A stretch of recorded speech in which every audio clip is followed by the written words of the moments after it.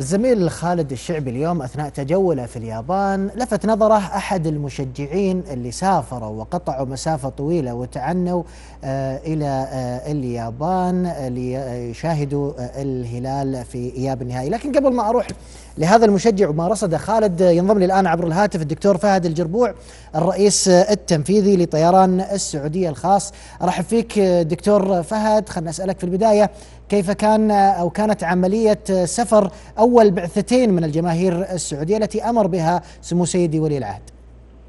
اولا أمسي عليكم بالخير وعلى الأخوة المشاهدين. ويعني أحب أتقدم بهذه المناسبة بالشكر لمقام سمو سيدي ولي العهد الأمير محمد بن سلمان على هذه المكرمة لنقل جماهير الهلال. الحقيقة أنا بس أصحح معلومة. الطائرة على وشك وصول إن شاء الله. هي تقريبا في آخر يعني نسميها لك تقريبا عبرت الأجواء الصينية لها الآن تقريبا قرابة ساعة ونص. متوقع إن شاء الله إنها خلال الساعتين القادمات إن شاء الله تهبط في في طوكيو. فهذه طبعا هي كانت أول طائرة وتقل 245 من المشجعين.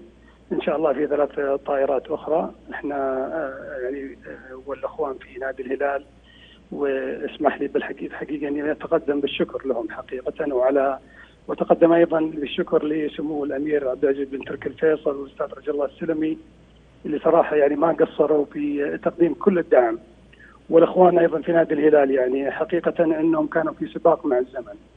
آه تعلمون أنه آه يعني آه الحصول على التأشيرات في وقت وقياسي ويعني الحصول على الجوازات ليلة البارحة يعني الجميع صراحة كانت منظومة عمل متكاملة فاسمح لي أني أتقدم لهم بالشكر نيابة عن منسوب السعودية.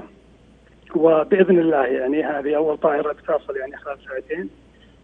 مجدولين إحنا أيضا رحلتين بكرة أه واحدة الساعة 6 إلا ثلث وثانية الساعة 11 إلا ثلث بحيث أنهم إن شاء الله يصلون في وقت كافي وينالون يعني المشجعين على الأقل كذا ليلة.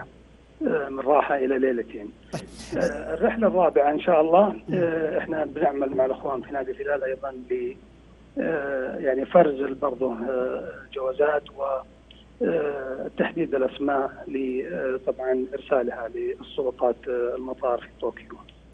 طيب دكتور فهد هذا خليني أسألك كم عدد المشجعين اللي بيسافرون على الطيارات الأربعة؟ اللي سجلوا بنادي الهلال وكانوا نعتبرهم يعني منطبق عليهم الشروط من ناحية الجوازات 1600 وطبعا هذا 1600 اللي قدمت جوازاتهم من من قبل الإخوان في نادي الهلال للسفارة. واللي طبعا بلغنا إنهم يعني العدد الكامل 1600 لكن تعرف يعني قد يكون مثلا في بعض اللي يعني كانوا ناويين يسافرون يعني تواجههم بعض الظروف.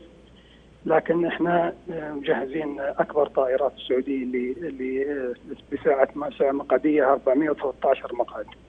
منها 30 مقعد بزنس ودرجة أعمال و 383 مقاعد سياحية. فالسعة الاستيعابية عندنا مقعدية كافية.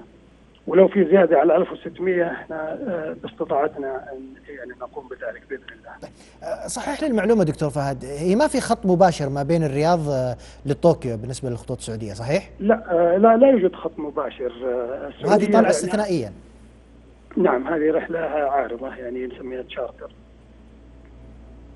طيب هذا يخليني أسأل الطيارات طيب اللي وصلت طوكيو مع البعثة أو مع الجماهير بترجع ولا بتبقى في مطار طوكيو حتى يرجعون الجماهير؟ لا حترجع حترجع لأنه في عندنا ثلاث رحلات أخرى أي. آه ربما آه طبعا إذا توفرت الأماكن للطائرة الأخيرة آه يعني ممكن إنه تتوقف هناك لكن في الغالب الطائرات ترجع يعني استبدال الملاحين وكل شيء إحنا مخططين له يعني بالوقت يعني ما عندنا إشكالية. وتعرف يعني دائما بالنسبة لمطارات اليابان بشكل عام تشهد دائما كثافة طيران وبالتالي حتى لو حبينا أننا نبقي الطائرات الأمر صعب جدا. طيب دكتور فهد الجربوع الرئيس التنفيذي لطيران السعودية الخاص شكرا جزيلا لك.